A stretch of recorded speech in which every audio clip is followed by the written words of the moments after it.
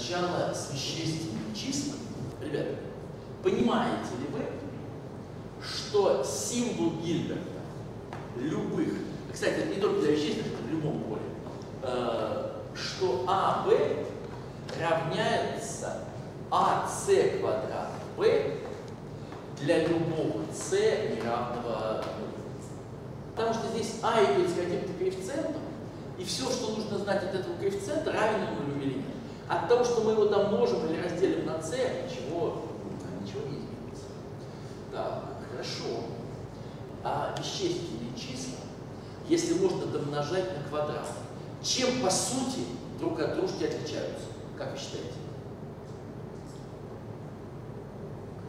Вот представьте себе, мы не различаем вещественные числа, которые отличаются друг от друга в квадрат раз.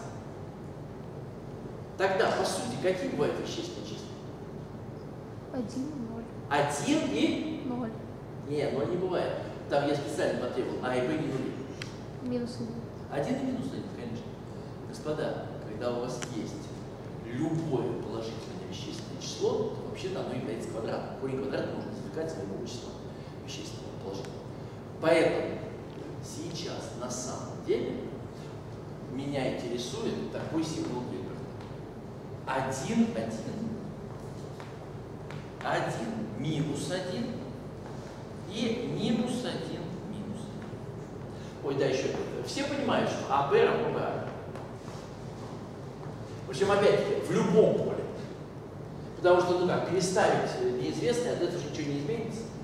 А, Б равно БА. Отлично. Так, э, так сколько же это будет? 1, 1, сколько? Единица. Просто это единица. А опять-таки, в любом поле 1b это 1.